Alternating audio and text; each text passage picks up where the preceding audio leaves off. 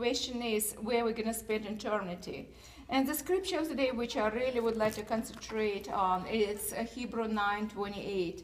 So Mashiach also, having been offered once to bear the sins of many, will appear a second time for salvation, without reference to sin, to those who eagerly await Him.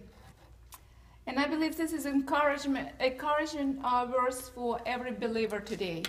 The one who made a decision to accept Mashiach in their, uh, in their heart. And uh, uh, this is a prayer for me, for every person uh, today who still don't know that a living Mashiach came and walked this earth, as a, scripture saying, through the virgin birth. He, he, came to this earth before destruction of the temple, uh, before 17 AD. And he walked in the temple suddenly.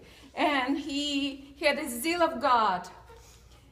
And he came as a suffer, suffering servant first and he uh, was put on the tree and he was nailed to the cross for my sins and for sins of many, for sins of whole uh, uh, world.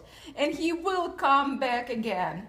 And he's uh, coming back, it seems like so soon because uh, the signs, uh, the signs which we see is right on the news pages where we see when Jerusalem will be surrounded by enemies and we see that very clearly when Jerusalem are surrounded by uh, every in uh, so many nations which are hate, hate, uh, uh, filled with the hate in their hearts, and the the Yeshua will appear in heaven with a mighty army and he will call out uh, his people, and we will uh, the uh, the, the, those who died in Mashiach first, they will rise uh, from the dead. And we who are still alive will join them in the heaven. Uh, in the heaven.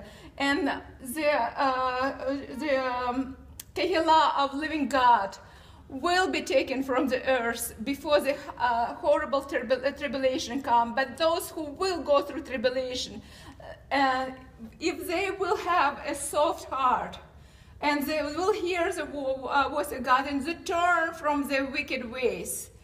Uh, as a, scripture said, because as the scripture says, because while, uh, because God rich in His mercy, because of His great love with which He loved us, while we were dead, I mean dead in our transgression, walking dead, He made us alive with Mashiach, and by grace we were saved, not ourselves. It is a gift of God. In Yeshua's name I pray. That they will